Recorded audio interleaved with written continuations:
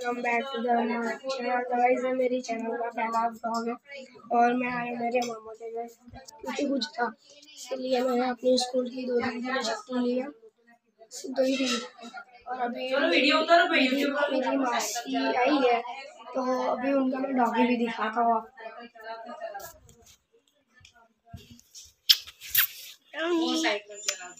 हम अपने dog food को डॉग फ़ूड के अलावा भी राइस और चावल की रोटी देती हूँ मैं उसको।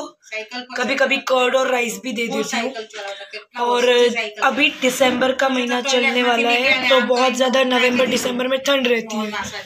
तो you should protect your dog with sweater winter wear also ठंडी में मैं कर्ड नहीं देती हूँ बहुत कम कर्ड देती हूँ क्योंकि उसको सर्दी और जुकाम का मतलब डर रह सकता है। तो कर्ड प्रोवाइड ना करिए बने तक चिकन भी हम अपने डॉग को दे सकते हैं।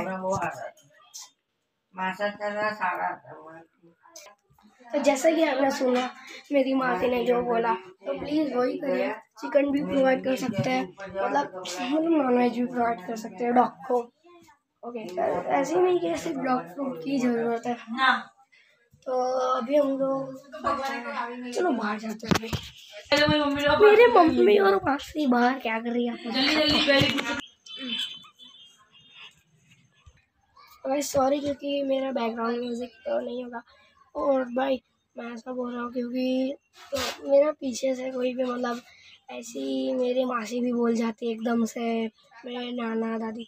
मतलब ऐसी आवाज़ अभी क्योंकि मेरे घर में कुछ था तो मेहमान आए इसीलिए थोड़ा आवाज़ रहेगा तो I am so sorry guys okay तो आज के लिए इतना ही, ठीक है? मिलते हैं नेक्स्ट ब्लॉग में। Thank you so much for watching bye मैं आज शाम को साथ ब्लॉग करूँगा क्योंकि हम लोग आज कमाड़ी भाग जाएँगे उधर तो बहुत मज़ा आएगा बाय बाय